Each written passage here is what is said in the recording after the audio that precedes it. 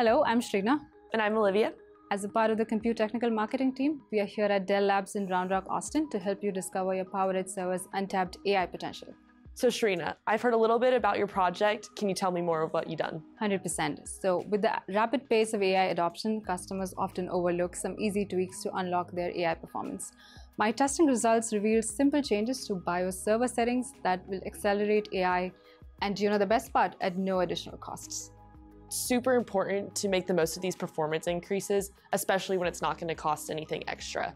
So can we talk a little bit more about the benefits to the customers? That's a good question. So this project will serve beneficial to the customer as they can eliminate the risk of having suboptimal performing systems with zero additional cost to gain up to three times more return for every dollar they invested. These are great benefits. And now can we jump into how you designed your tests that led to these results. Absolutely. So to identify optimal BIOS settings for AI workloads and provide recommendations on our latest generation PowerEdge servers, I collected test data to determine performance, to determine performance for what, and to characterize these AI workloads. I tested against three inferencing benchmarks, namely Intel's OpenVINO, TensorFlow, and Computer Vision benchmark in partnership with Scalers AI. In Scalers AI, interestingly, we look at the traffic safety scenario where we perform inferencing and video decode on 90 1080p simultaneous video streams. The goal here was to test a workload that is very similar to what a customer would run. This is a sim smart city workload that takes advantage of AI acceleration available, available in our fourth generation Intel Xeon processors. I focused on generation of PowerEdge servers.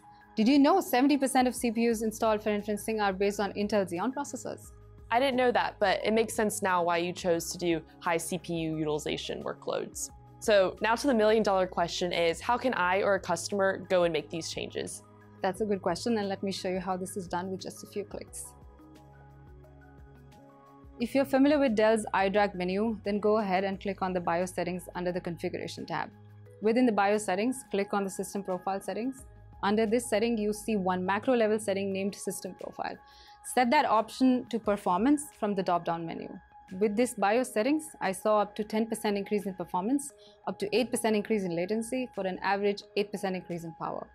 For more optimized performance, you can fine-tune the workload profile setting and set this to the NFVI FP Energy Balanced Turbo profile, which is the last on your 12 options.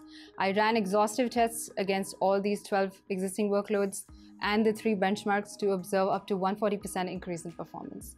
But the most interesting performance increase came up with disabling hyperthreading. To achieve 3x performance increase, go to processor setting under BIOS settings where you can see the option for a logical processor, also known as hyperthreading. Set this to disabled and save your changes. You can also find the same settings under same configurations when making these changes using a server BIOS console instead. So do you see how simple this is? It took just six to seven clicks.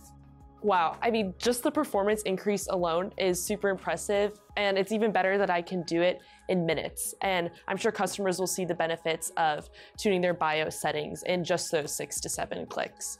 So if I want to replicate your results or learn more about your testing, where can I go? 100%. So you could go and invite, I invite you to uh, read our blog post and the comprehensive white paper to see what's possible when you empower your Dell PowerEdge servers. The links to the posts are below and for more details and advice from Dell, please follow us. You can also read about the AI related content and latest technological advancements from Dell at infohub.delltechnologies.com. AI is a fast moving space and the landscape is changing at an unprecedented speed. We at Dell recognize this challenge and AI revolution. We are trying to keep our customers on the bleeding edge. So, to recap my findings, one, you can disable the logical processor for a high utilization workload.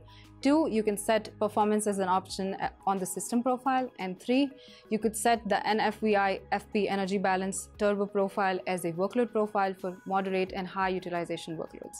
And those three simple steps will boost your performance for AI inferencing processes. So for these results and more AI related content, you can visit us, like she said, at InfoHub. Thank you, Shrina, for this insightful research. Thank you, Olivia.